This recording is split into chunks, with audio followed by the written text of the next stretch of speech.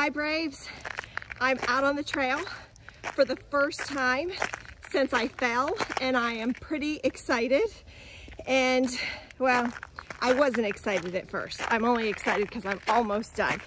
But it really took um, a lot of encouraging to myself to get out and start walking again. And I thought to myself I've encouraged you guys all along to overcome your obstacles or work through your obstacles. I've encouraged you to keep putting one foot in front of the other, whether they be small or large steps. Today they've been baby steps and at times they've been uh, nice long strides. Um, I've also encouraged you to just, you know, keep pushing and setting some goals so I thought to myself, I've got to get out there and I've got to walk. I've got to do just what I've been telling all of you to do all year long. So here I am.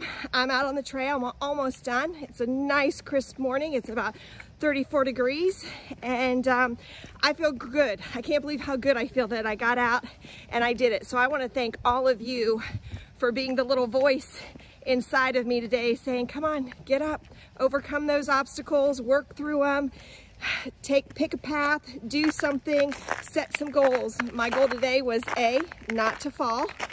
Um, my goal was to go from one end to the other and not worry about my time. So far I haven't fallen and I'm not quite to the end but I'm almost to the end as you can see. So this weekend uh, you know enjoy yourself enjoy your day off today and you know we've got about 14 more weeks of school left, maybe a little less, and I think a lot less maybe. Um, so think about where, where we are and where you need to be headed uh, to finish this year strong. Um, I'm excited to do it with you. So, you know, don't forget, ask questions, um, ask for help.